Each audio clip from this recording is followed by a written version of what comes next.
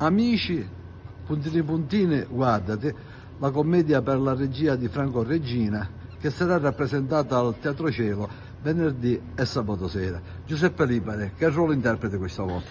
Allora, io sono il padrone di casa dove diciamo dovrei essere l'artefice della, della situazione, dove ho una brillante idea e decido di cornificare mia moglie e, e, sottolineo cornificare perché le corna assolutamente fanno, so, fanno sorridere. Quando... la moglie? Ma a quanto pare non sono stato io solo ad avere questa idea, quindi mh, ci sono una serie di situazioni ingarbugliate e di cui è complice mia moglie, ovvero Chiara Calandrino. Allora Chiara, eh, come prendi tu eh, questo atteggiamento di tuo marito? La prendo benissimo perché anch'io faccio altrettanto in questo copione, quindi sono moglie e amante e diciamo che è un copione pieno di intrighi e equivoci amorosi, quindi si basa proprio su questo la commedia.